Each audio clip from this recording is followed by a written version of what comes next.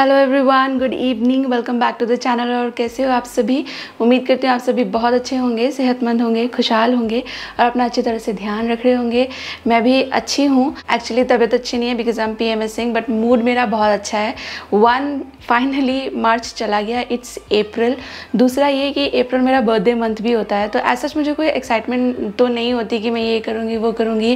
But ऐसा बोलते हैं कि जो आपका बर्थडे मंथ होता है ना, उसमें लाइक यू थ्राइव बेटर वो थोड़ा लकी होता है। तो उस हिसाब से आई एम होपिंग कि मेरा अप्रैल अच्छा जाने वाला है और अप्रैल जब से शुरू हुआ है, काफ़ी सारी चीज़ें अच्छी भी हो रही हैं। जैसे कि सबसे पहला तो डिश वॉशर ही, पूरा मार्च निकल गया उस लूप में बट अप्रैल आते ही मेरा डिश वॉशर लग गया। तो आई एम होपिंग कि अप्रैल मेरा अच्छा जाने वाला है।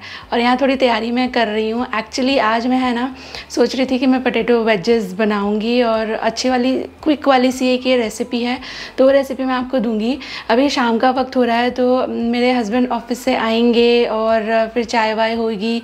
तो मैं थोड़ा सा उस तरह से अलाइन करने की कोशिश कर रही हूँ कि मैं पटेटो वेजेस जो हैं वो चाय के साथ सर्व करना चाहती हूँ। और यहाँ पे मैंने थोड़ा सा आ, सामान रखा हुआ है। ये डिनर की प्रेप भी करूँगी तो इसको मुझे मैरिनेट करके रखना है। और मैंने है ना मैं बनाने वाली हूँ आज पनीर टिक्का मसाला।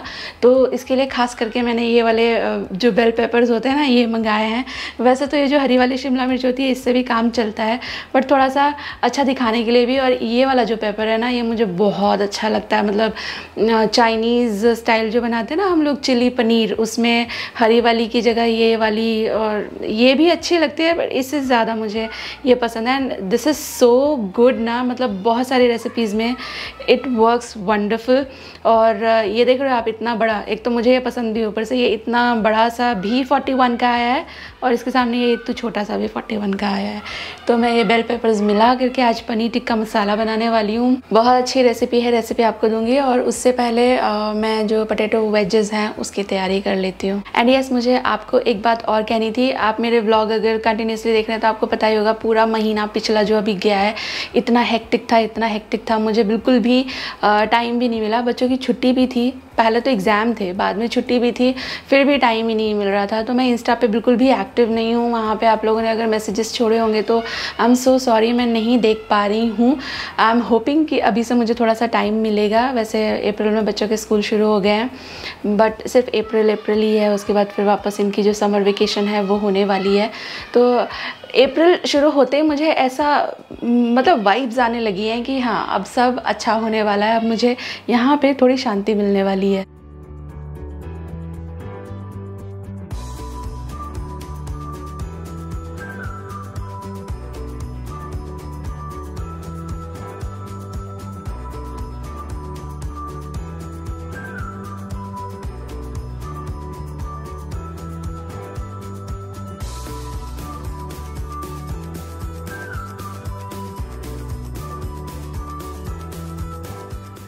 मैंने यहाँ पर, है ना, थोड़ा पानी रख दिया है नमक डालकर बॉईल होने के लिए। इसमें हम लोग जो हमारे पटेटोज़ हैं, इसको थोड़ा सा पार बॉईल जैसा करेंगे ब्लांच करेंगे। ये पटेटोज़ विद स्किन मैंने बहुत अच्छी तरह से रब कर करके धो लिया है। स्किन वेजेस में रहती है तो एक तो उसको स्ट्रेंथ मिलती है, दूसरा अच्छी भी लगती है। बट आप चाहें तो स्किन पील कर सकते हो। मैं स्किन रखना चाहती हूँ। मैंने इसको बहुत अच्छी तरह घिस घिस कर धुल लिया है। और पटेटो से वेजेस बनाने के लिए बहुत ही आसान है इसको प्रेप करना। इसको पहले हाफ़ में काटिए। ऐसे भी हाफ़ में काट सकते हैं और इस साइड से भी काट सकते हैं। जो एक हाफ़ है, इसको हाफ़ में काटिए। और जो अभी ये जो हाफ़ है, इसको भी ऐसे हाफ़ में काट दीजिए। तो दिस इज़ हाउ आपके जो वेजेस हैं, वो तैयार हैं और सारे ही वेजेस एक जैसे लगने वाले हैं। सी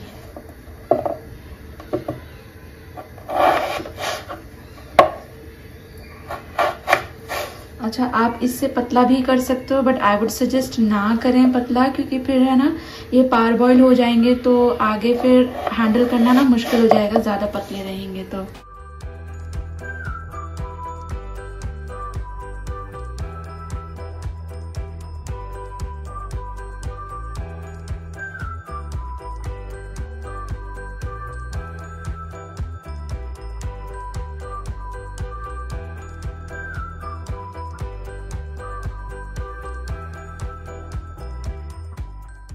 और आज मैं ये पोटैटो वेजेस बनाने वाली हूँ। मेरे newly bought Agaro Regency digital air fryer में। It has a very sleek design and combination of black and chrome makes it look so beautiful and it is also going to make your kitchen look good too और Amazon पर आप इसके ratings check करेंगे ना तो आप हैरान हो जाएँगे। They are just amazing this machine has impressed so many people मुझे वैसे भी एक बढ़िया सा एयर फ्रायर तो चाहिए ही था। And here it is let me show you my new kitchen gadget and I give you a demo too जिससे अगर आप एयर फ्राई खरीदना चाह रहे हो तो this video could be helpful और अगारो का ये रीजेंसी डिजिटल एयर फ्रायर एक रेगुलर एयर फ्रायर से कहीं ज़्यादा है, और ये इस तरह से ओपन होता है front portion has oven like door और इसमें सबसे पहले आती है ये एक ड्रिप प्लेट जिसे नीचे की तरफ़ लगा कर रखना है। इसको लगाने से ना कुछ भी ड्रिप होगा ऑयल या फ़ूड पार्टिकल तो वो सीधे इसमें आके गिरेंगे और इससे आपका एयर फ्रायर गंदा नहीं होगा। और इसके साथ में आती है ये एक क्रिस्पर ट्रे जिसे आप बिल्कुल उसी तरह इस्तेमाल कर सकते हैं जैसे अवन के जो ट्रेज इस्तेमाल होते हैं जस्ट लाइक दैट ये मैश ट्रेज भी and these are great for reheating dehydration etcetera इसके ऊपर आप, आपके हर्ब्स यानी कि पुदीना, धनिया और करी पत्ता वगैरह डिहाइड्रेट कर सकते हो। और साथ ही साथ डिफरेंट वेजीज के like sweet potato potatoes bananas वगैरह के चिप्स भी बना सकते हैं। साथ में आते हैं ये सिलिकॉन मिट्स इनको आप ये ट्रेज निकालने के लिए यूज़ कर सकते हैं व्हेन दे आर हॉट और ये है स्क्वायर बास्केट जो यूजुअली आपने सभी एयर फ्रायर्स के साथ देखा होगा। और इसको आप एन नंबर ऑफ़ रेसिपीज़ बनाने के लिए इस्तेमाल कर सकते हो। और इसके साथ में ही आता है ये एक हैंडल टूल जिसे यूज़ करके आप ये बास्केट को ईजिली अंदर रख सकते हैं, बाहर निकाल सकते हैं। और इसके अंदर एक लॉक भी आता है टू सिक्योर द ग्रिप और नेक्स्ट आती है इसमें ये round basket which is great for cooking fries nuggets या नट्स वगैरह को रोस्ट करने के लिए आप इसका इस्तेमाल कर सकते हो। साथ में ये हैंडल टूल भी है, जिससे आप ये राउंड बास्केट आराम से एयर फ्रायर से निकाल सकते हैं। और ये जो ब्यूटीफुल सा एयर फ्रायर है ना it comes with 12 litre capacity 1800 watt और टेम्परेचर रेंज इसका है 80 डिग्री सेल्सियस से 220 डिग्री सेल्सियस तक। और फ्रंट में ये विंडो लाइक ट्रांसपेरेंट पैच है that gives you option to see your food getting cook और एयर फ्रायर में ऊपर की तरफ़ है ये डिजिटल टच एलईडी डिस्प्ले और यहाँ से आप एयर फ्रायर के फ़ंक्शंस कंट्रोल कर सकते हैं, इसको ऑपरेट कर सकते हैं। टच करके मशीन ऑन करें और फिर बहुत सारे फ़ंक्शंस डिस्प्ले होने लगेंगे। और यहाँ से आप टाइमर सेट कर सकते हो। यहाँ से आप टेम्परेचर सेट कर सकते हैं। इसमें आते हैं nine preset recipes for making fries pizzas fish chicken and much more और इसके साथ में ये स्क्यूअर्स भी आते हैं जिसे आप सीख, टिक्का, कबाब वगैरह बना सकते हो। मैंने अमेज़ोन पे बहुत सारे रिव्यूज़ पढ़ने के बाद और यूट्यूब पर भी बहुत सारे अच्छे रिव्यूज़ जानने के बाद इस एयर फ्रायर को अपनी किचन का हिस्सा बनाया है। आप अगर इस प्रोडक्ट में इंटरेस्टेड हैं तो इसका लिंक आपके लिए मैं वीडियो के डिस्क्रिप्शन बॉक्स में रख दूँगी। चेक ज़रूर कीजिएगा। चलिए मैं आपको रेसिपी दे देती हूँ। तो वेजिस के लिए मैंने ये लिए है थोड़े से गार्लिक पाउंड करके थोड़ा सा इसमें नमक थोड़ी सी लाल मिर्ची का पाउडर थोड़ा सा ब्लैक पेपर पाउडर देन इसमें जाएगा थोड़ा सा नमक आई मीन थोड़ा सा ऑयल वन टीस्पून जैसा मैंने ऑयल डाला है और थोड़े से जाएँगे मिक्स हर्ब्स सिर्फ़ ओरेगनो हो तो भी काम चलेगा और थोड़ा सा मैंने पिज़्ज़ा सीजनिंग भी ऐड कर दिया है देन इसमें बिल्कुल डैश ऑफ़ विनेगर ऐड कर रही हूँ मैं आ, मतलब जो टीस्पून होता है उसका भी हाफ़ ले लीजिएगा हाफ़ टी स्पून जैसा देन सारी चीज़ें अच्छी तरह से मिक्स कर लीजिए। और ये जो मिक्स तैयार हुआ है, इसके अंदर मैंने बेसन भून के रखा था तो ये एक छोटी चम्मच जैसा बेसन है भुना हुआ, ये मैं ऐड कर रही हूँ। ये नहीं होगा तो भी चलेगा, मेरे पास ये था। एंड मैंने कैलकुलेट किया तो मुझे लगा टेस्ट अच्छा लगेगा तो इसे इस्तेमाल कर लेते हैं।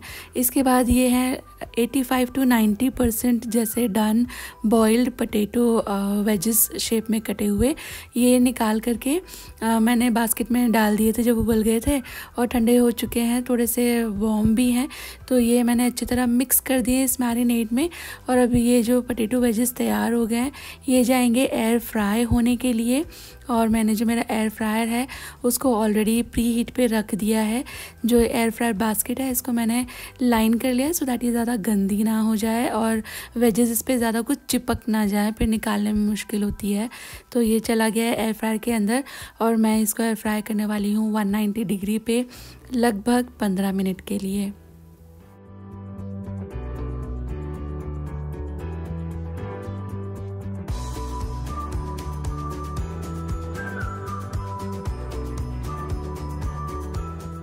और बिल्कुल सही चल रही थी मेरी कैलकुलेशन यहाँ पे मैंने पटेटो वेजेस रखे थे एयर फ्रायर के अंदर और यहाँ शर्मा जी घर पर भी आ गए।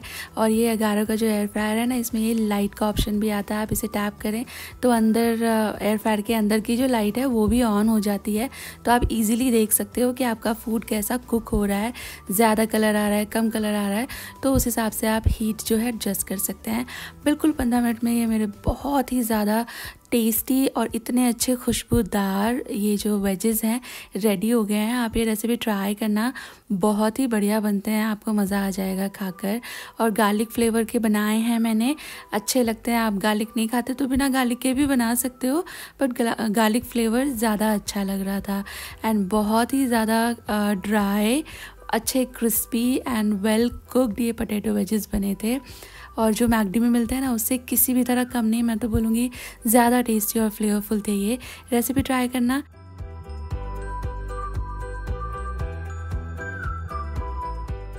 और मैंने है ना वेजेस की प्रेप शुरू करने से पहले ही मतलब आलू बॉइलिंग पे रख दिया था उसके बाद मैंने सीधे ये जो पनीर टिक्का है ना इसकी प्रेप करके रख दी थी।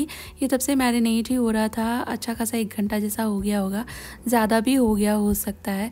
तो अभी मैं ये भी फटाफट से कुक कर लूँगी। तो मैंने जो स्क्यूअर्स है ना उनको थोड़ा सा ऑयल से ग्रीस कर लिया है। वैसे तो ये मेटल के हैं कोई दिक्कत आनी नहीं है लेकिन बाद में जब आ, कुक हो जाता है ना तो उसके बाद उसको निकालने में कभी कभी डिफ़िकल्टी होती है, क्योंकि कुक होने के बाद जो मैरिनेशन है, वो थोड़ा सा श्रिंक होकर चिपक जाता है और फिर पनीर वनीर भी टूटने लगता है जब आप खींच कर स्क्यूअर में से टिक्के निकालते हैं। तो इसके लिए मैंने थोड़ा सा इसको ऑयल कर लिया है और इसके बाद जितना भी मेरा ये मैरिनेटेड सब्ज़ियाँ और पनीर है, वो मैं स्क्यूवर्स पे अरेंज कर रही हूँ।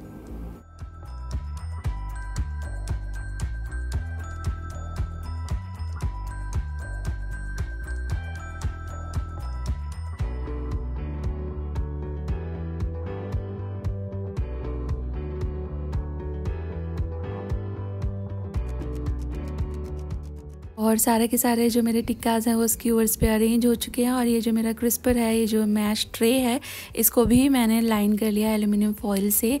बस वही एक रीज़न कि टिक्का बाद में कुक होते होते इस पर चिपक ना जाए, फिर हटाते हुए सब पनीर टूट जाते हैं तो फिर वो अच्छा नहीं लगता देखने में। और ये भी प्री हीटेड एयर फ्रायर में जा रहा है। एयर फ्राई होने के लिए वन पे टेन मिनट्स के लिए तो जब तक ये एयर फ्राई हो रहा है रेसिपी आपको दे दूँ मैं कि मैंने कैसे ये जो पनीर टिक्का है, इसको तैयार किया है। तो यहाँ पे जो बेल पेपर्स थे रेड वाला येलो वाला, ये मैंने आधे आधे ले लिए हैं और जो ग्रीन वाला था, वो बहुत ज़्यादा बड़ा नहीं था तो वो मैंने पूरा ही एक ले लिया है। और अभी तीनों ही बेल पेपर्स को मैं लगभग एक जैसा दिखे, इस तरह के साइज़ में काट रही हूँ। और बिल्कुल सेम ही तरह के साइज़ में मैं पनीर भी काट रही हूँ। एक ही जैसे साइज़ के जब पनीर और सब्ज़ियाँ कटे होते हैं ना तो एक तो ये देखने में बहुत अच्छे लगते हैं। दूसरा दिस सिट रियली वेल तो हर तरफ़ से बहुत अच्छी सी कुकिंग होती है। चलिए इसका मैरिनेशन बना लेते हैं। तो मैं यहाँ पे ले रही हूँ दही, और ये आधी कटोरी जैसी दही है, और गाढ़ा दही है तो मैंने डायरेक्ट ले लिया है। पानी पानी दही हो तो थोड़ा उसको हांग कर लीजिएगा। तो ज़्यादा पानी पानी ना रहे, इस चीज़ का ध्यान रखें। इसमें मैंने ऐड किया एक बड़ा चम्मच जिंजर गार्लिक का पेस्ट, थोड़ी सी कश्मीरी लाल मिर्ची, काली मिर्ची का पाउडर काला नमक, सरसों का तेल रेगुलर रेड चिलीज़ का पाउडर चुटकी भर हल्दी for better colour then chaat masala one teaspoon जैसा ऐड किया है मैंने, और इसके बाद इसके अंदर कसूरी मेथी मैं हाथों से इस तरह क्रश करके ऐड कर रही हूँ। ये रॉ है टोस्टेड नहीं है, और इसके बाद ऐड कर रही हूँ इसमें थोड़ा गरम मसाला, और बेसन जाएगा इसके अंदर तो मैं बेसन थोड़ा सा रोस्ट कर रही हूँ। प्री रोस्टेड मेरे पास नहीं रखा था। इस रेसिपी में जाएगा रोस्टेड बेसन भी। तो मैं थोड़ा सा बेसन रोस्ट कर रही हूँ। ऑल्टरनेटिवली अगर आपके पास वो है ना दालिया चने जो होते हैं तो उसको भी आप डायरेक्टली पीस करके ले सकते हो। तो आपको फिर ये रोस्ट करने की ज़रूरत नहीं पड़ेगी। ऑल्सो आप चाहें तो इसको मैं ड्राई भून रही हूँ। इसको आप मस्टर्ड ऑयल में भी भून सकते हैं। तो वो मस्टर्ड ऑयल का टेस्ट अगर आपको नहीं अच्छा लगता है ना, वो पंजेंसी तो वो चली जाएगी दोनों चीज़ें साथ में भूनने से। इसको हल्का कलर आने तक, खुशबू आने तक भून लेंगे।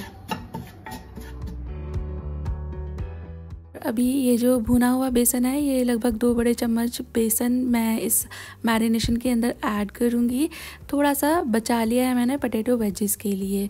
पटेटो वेजेस में वैसे जाता नहीं है बेसन बट मैंने इसलिए कि थोड़ा अच्छी तरह से स्टिक हो जाए मैरिनेशन उसके ऊपर, ये थोड़ा सा बेसन उसमें ऐड कर दिया था। अभी ये जो हमारा मिक्स है मैरिनेशन है, इसको मैं आप देखें हाथों से थोड़ा सा मसलते हुए मिक्स कर रही हूँ। ऐसा करने से जो दही है ना, उसके कोई भी लम्ब्स नहीं रहेंगे। अच्छी तरह से मैश हो जाएगी दही और बेसन ज़रूर से डालिएगा अदरवाइज़ आप जो भुना हुआ चना रहता है, उसको भी पीस कर ऐड कर सकते हो। डालने का मकसद ये है कि जो दही है ना, वो कुक होकर फिर पानी छोड़ने लगती है। बेसन आप ऐड करेंगे तो वो थोड़ा सा दही को बाइंडिंग भी देगा टेस्ट भी देगा और आपका टिक्का उसको थोड़ा सा पुट टुगेदर रखेगा। मैरिनेशन तैयार हो जाने के बाद प्राइमरली सारा का सारा पनीर पहले आप इसमें कोट कर लीजिए, क्योंकि ये मैरिनेशन बेसिकली पनीर के लिए ही है। अच्छी तरह से सब तरफ़ से पनीर के सारे पीसेस कोट हो जाए तो फिर रिमेनिंग मैरिनेशन में आपकी जो सब्ज़ियाँ हैं, वो आप कोट कर सकते हो। और अभी सब चीज़ें मिक्स हो जाने के बाद इसे ढक्कन लगाकर ऐसे ही रूम टेम्परेचर पे मैरिनेट होने दीजिए। एटलीस्ट ट्वेंटी मिनट्स ज़रूर मैरिनेट होने दें। बाकी आप एक घंटा भी रख लेते हैं तो भी आ, कोई ज़्यादा फ़र्क नहीं पड़ेगा। मतलब जितना आप मैरिनेट करेंगे उतना अच्छा ही आपको रिज़ल्ट मिलेगा। अंदर तक फ्लेवर्स चले जाते हैं पनीर के। बट मिनिमम अगर आपको बहुत जल्दी भी है तो भी ऐसा टाइम लेकर चलें कि ट्वेंटी मिनट्स जो है आपका ये सभी चीज़ें मैरिनेट हो जाए। एंड देखिए पनीर में से स्क्यूअर कितनी ईजिली निकल रहा है और ड्राई निकल रहा है।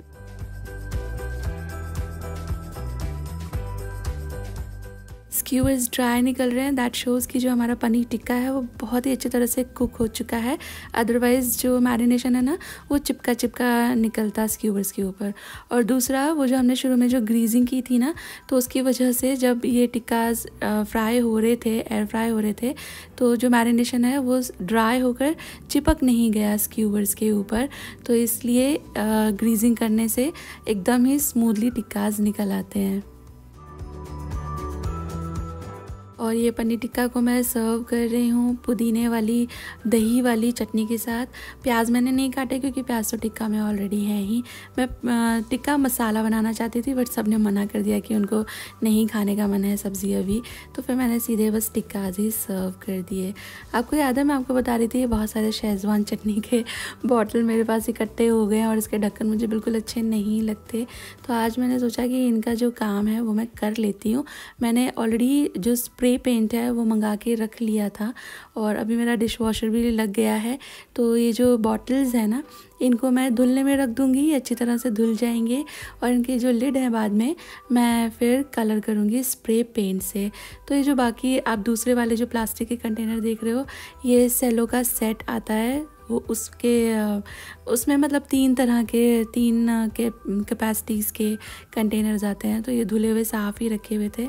तो मैंने ढूंढ ढूंढ के ये जो कांच वाले हैं, शेजवान चटनी वाले कंटेनर एक जैम का भी निकला है।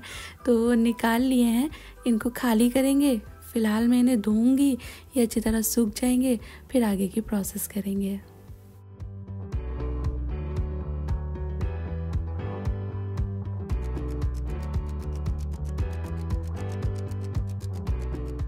और कांच के जो ये जार होते हैं ना, इनके जो सेट होते हैं, वो काफ़ी एक्सपेंसिव आते हैं। आप अमेज़ोन वगैरह पे चेक करिएगा तो अच्छे खासे एक्सपेंसिव रहते हैं, जबकि घर में कोई ना कोई इस तरह की बोतल आती ही रहती है, जो कांच की रहती है। मैं क्या करती हूँ, मैं अगर जैसे शेजवान चटनी में लाती हूँ, मेरे घर में थोड़ा सा फ्रीक्वेंटली यूज़ होती है। ये वैसे ओवर द पीरियड इकट्ठे हुए हैं। तो एक बार जो आ गया ना, फिर आई ट्राई की उसी तरह की बॉटल और आए। मैं कॉन्शियसली ये डिसीज़न लेती हूँ, जिससे थोड़े टाइम बाद एक सेट तैयार हो जाएगा। तो ऐसे करके मैंने बहुत सारे सेट्स बनाए हैं। यहाँ पर एक रिंस देने के बाद मैंने ये सारी बॉटल लगा दी है डिश वॉशर के अंदर। और जब से मेरा डिश वॉशर लगा है ना इस बार, पहली बार मैं इसको आज यूज़ करने वाली हूँ।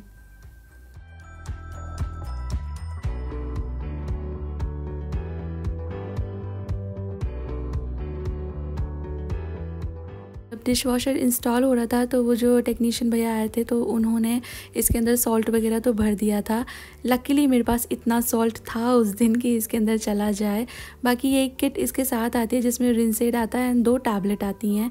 तो ये रिंसेड फ़र्स्ट टाइम यूज़ करने से पहले रिंसेड एंड सॉल्ट वगैरह सब कुछ डालना ज़रूरी है। तो सॉल्ट उस दिन डल चुका था रिंसेड आज मैं रिफ़िल कर रही हूँ। अभी मैं रन करूँगी तो I thought this is the best time और दो टिक्कियाँ आई थी। जब मैंने पहला वाला जो मेरा डिश वॉशर ख़रीदा था तो उसमें इतना ज़्यादा कंजूसी नहीं की थी इन लोगों ने। इस बार सिर्फ़ दो ही टैबलेट दिए हैं। अभी नए जो मॉडल्स आ रहे हैं आ, क्योंकि ये फिनिश के टैबलेट शायद काफ़ी ज़्यादा एक्सपेंसिव हो गए हैं तो दे आर कॉस्ट कटिंग मैंने टैबलेट लगा दिया है रिंसेड फिल कर दिया और बस फटाफट से धुलने रखेंगे बर्तन.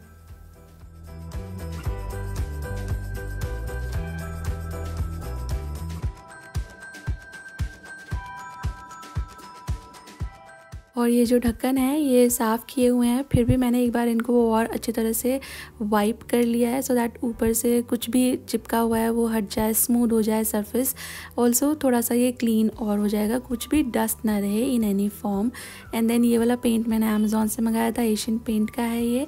ब्लैक कलर में मैंने मंगाया था। बस ये मैं स्प्रे करके सारे के सारे जो ढक्कन है, इनको कलर कर लूँगी। और इसके बाद ये होगा ड्राई ड्राई होने के बाद आई टेल यू जिसको पता है ये शेज़वान चटनी की बॉटल है, वो तो फिगर आउट कर लेगा। शेज़वान चटनी जैम के जो ये एक शायद फोर हंड्रेड कैपेसिटी के हैं ये। तो ये एक जैसे ही आते हैं बॉटल तो आपके घर में भी होंगे तो उस तरह से डेफिनेटली आप पता लगा सकते हो कि ये वही वाले बॉटल रीपर्पज़ किए गए हैं।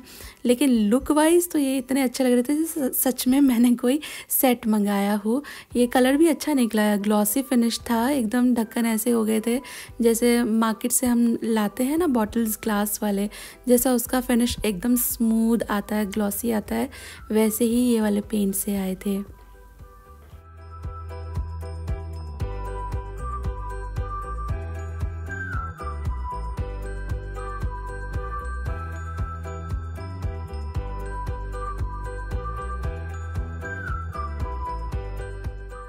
थोड़े मोड़े थोड़े मोड़े घर के मैं काम ही सुलटा रही थी। किचन मेरा फैला हुआ है प्लीज़ डोंट जज फील हुआ कि भूख लगने वाली है थोड़ी देर में तो फटाफट से मैंने सोचा खिचड़ी बना लेती हूँ। जब भूख लग रही हो ना, उसी वक्त खाना बनाना फिर हो नहीं पाता। वो फिर पेट पे ज़्यादा ध्यान रहता है कि मुझे भूख लग रही है, इसलिए जब भी मुझे लगता है कि हाँ ये खाने का टाइम होने वाला है, मैं उससे पहले ही कुकिंग शुरू कर देती हूँ, जिससे ठंडे दिमाग से कुकिंग हो सके। सिंपल सी मसूर और अरहर की दाल की मैंने खिचड़ी बनाई थी और जो बहुत ज़्यादा टेस्टी बनी थी और लंच के हिसाब से बहुत ही बढ़िया रेसिपी है ये। थोड़ी सी गाढ़ी हो गई थी, मैंने पानी तो काफ़ी डाला था बट शायद दाल भी ज़्यादा ही थी। तो जैसा मुझे खिचड़ी पसंद आता है ना थोड़ा सा पतला, उससे गाढ़ी हो गई थी but taste wise it was awesome